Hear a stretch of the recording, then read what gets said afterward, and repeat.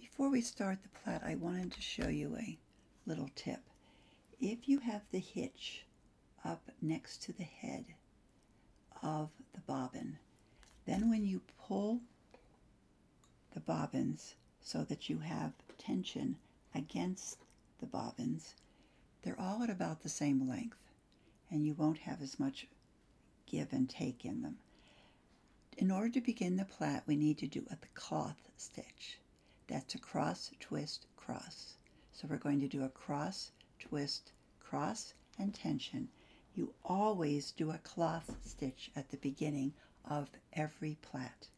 The plait then continues with twist, cross, tension. So it's twist, cross, tension. Outside, inside, outside, inside. Twist, cross, tension. Outside, inside, outside, inside. Twist, cross, tension. Out, in.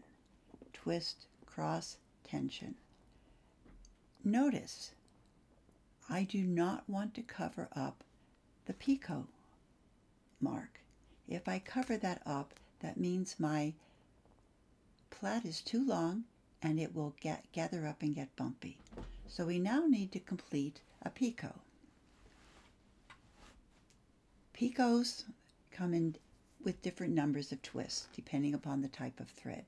This is a fairly thick thread, so we're, we are going to use five twists.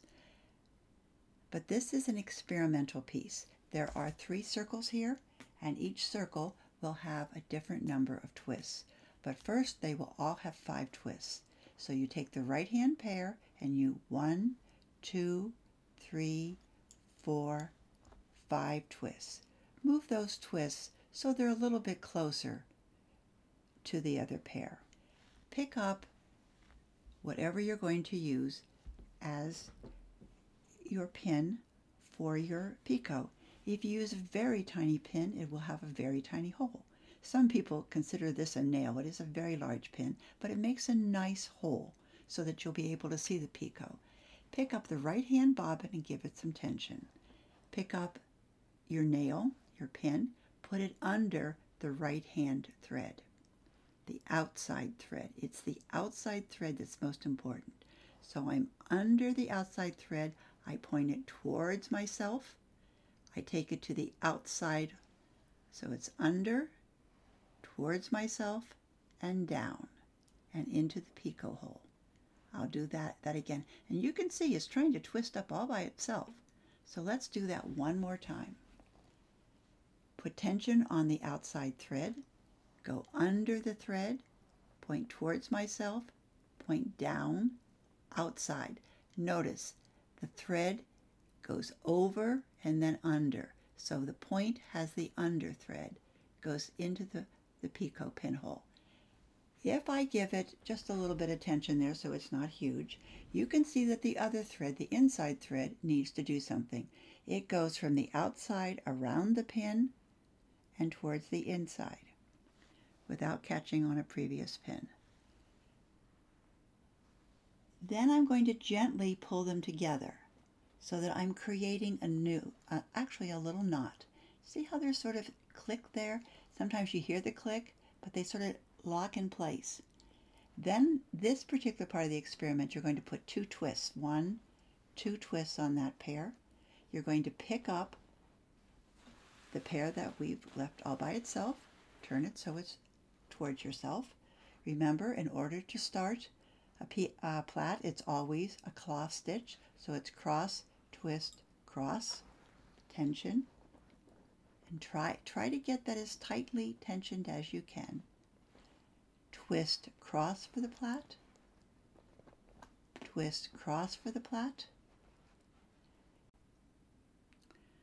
I'm now ready to complete the second picot. I need five twists. One, two, three, four, five twists. Move it just up a little bit. Pick up my nail, my pin, I put tension on the outside thread. I go under the outside thread, point towards myself, and point down, staying on the outside of the thread. I go into the picot hole. I give it just a little bit of a pull. I like it when it's down lower. I now am going with the other thread, which was on the inside of that pair, around the outside of the pin and towards the inside. So now they're both around the pin. I gently tension them so that it moves down the pin. It's nice and low.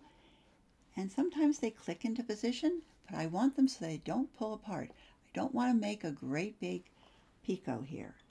I then pick up the other two pairs, the other two bobbins, the other pair, and I continue working. Remember, to do a plait, it's cross, twist, cross in order to make a cross stitch. Now it's twist, cross, tension.